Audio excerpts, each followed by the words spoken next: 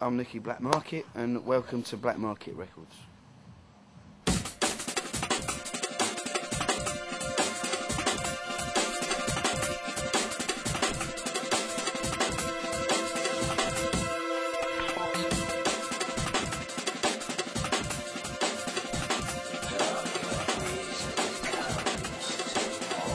Hi, I'm DJ Clark. My name's uh, DJ Crazy Legs. I work for Blackmarket Records, representing New Breeds Recordings also.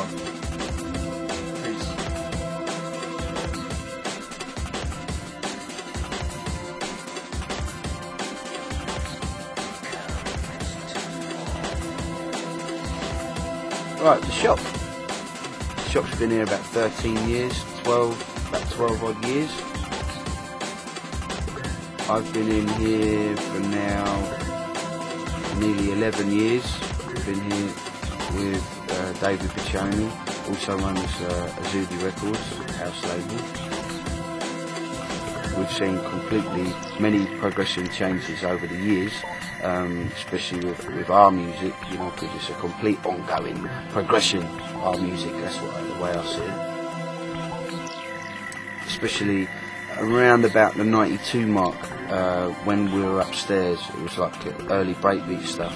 The, the, the urge to have our own department for the for the music was like getting greater and greater because the divide between the, the British hardcore early breakbeat stuff and the house thing was just it kept growing away from each other and um, it was like at the time it was like um, a battle on the decks like who's going to get on the decks to play what music you know and that, that really we didn't really want that you know. Thing for the music we had the, the trust and the belief in the music that it's going to go forward you know. This is the way forward for our music. This is a British musical movement.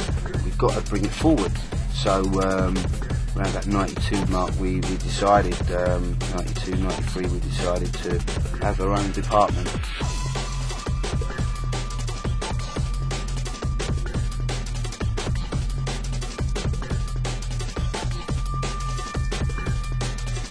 drum and bass took off straight away. I'd say it was it was a complete uh, progression from the hardcore thing, from all different elements.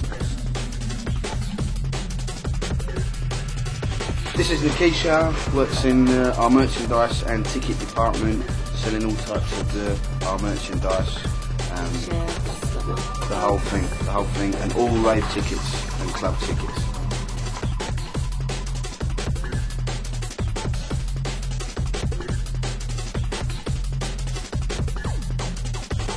Um, Goldie, Blackmarket. I manage the shop and look after all uh, the life out there.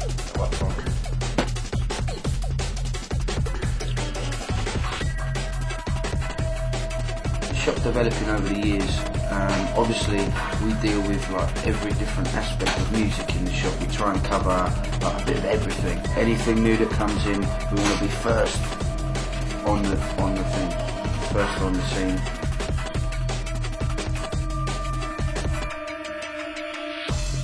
House, garage, techno, progressive, hip hop, R&B, American garage, all upstairs. So you've got the explosion of the UK garage thing. Obviously, the US house. I mean, we've always had that. We've always been in front of that in the shop. And obviously, I mean, you've got all different aspects of drum and bass that we, we, we cover the whole thing. Oh, the biggest selling tune. Oh, you had to ask me that one, didn't you? Valley of the Shadows. I mean, we just sold. It just carried on and on and on. Represses, remixes. You know, then they done the represses again. And then in '96 they brought it out again, and you know, it just continues selling. I mean, we could have done a couple of thousand before I done, you know, done so many.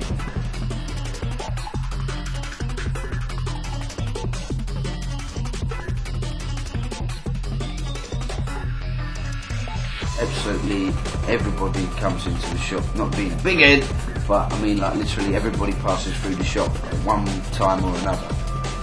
Everybody passing in just to see what's going on, even just to have a look and seeing how their tunes are doing or, or whatnot, you know, or whatnot, you know.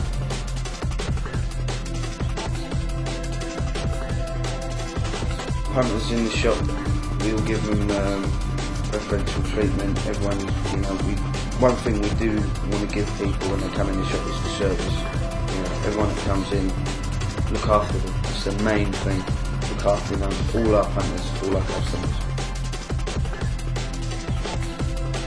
People come in and buy their records here. They hear it in the raves or in a club or they read it in a magazine. They come down here. They want to know what when is whatever's released. Certain raves, what certain raves are on. They'll come and pick up their flyers as well. You know, we're a part of the scene. You know. Blackmarket Rolling Volume 3, latest in the series. Got a whole heap of tunes, big tunes, you know, some new ones. Got Brockies, um, Kane's and Ed Solo's uh, Echo Box. It's got um, Bad Companies, Dogs on the Moon, big tune.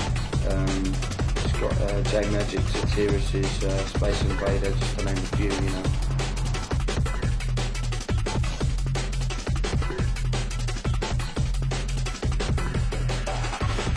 The internet is another part of the scene and a part of the music industry that is growing all the time. You know, especially, I mean, obviously, drum bass arena, you know, it helps the scene. It's a part, a big, big part of the scene. It helps, you know, and uh, people, the other side of the world that, that wouldn't get to, to hear us or see us or, or anything at all, you know, they, they can become, become a part of it.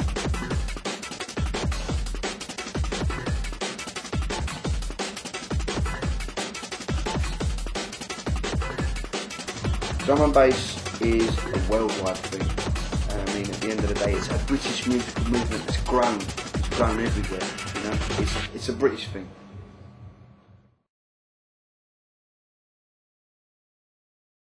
Rum now. There he is. It's a fly in the wall. It's a fly in the wall.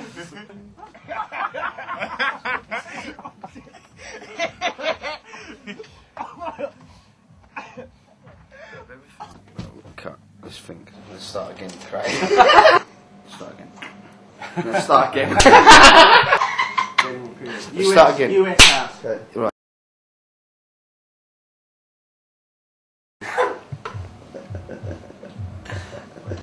Wicked. Oh, what's underneath the counter? We've got a bottle of Evian, we've got um, an orange, we've got a banana, we've got um, a little bottle of Ribena. no, we can't because um, yeah, this is a British musical movement, and we've got to bring it forward.